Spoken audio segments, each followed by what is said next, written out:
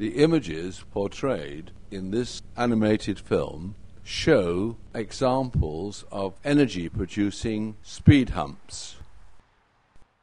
You will see a car approaching the speed bump. You will also see the mechanism that generates electricity.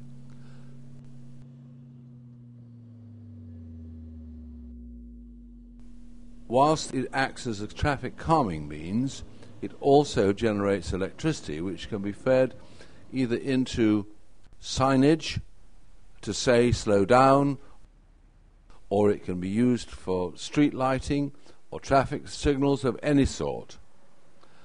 When the car has passed over it, it will continue to generate for at least half a minute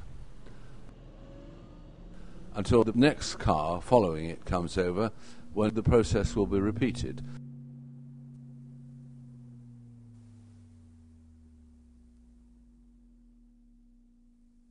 If there is a continuous flow of traffic, you will of course have a continuous electrical output from it.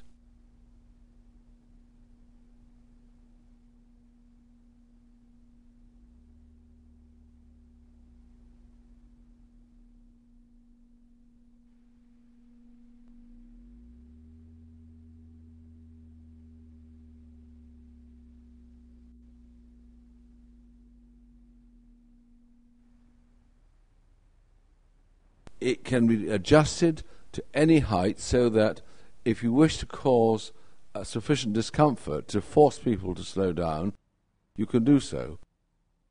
If, however, you simply want to give them a more gentle warning to slow down, you can adjust the height accordingly.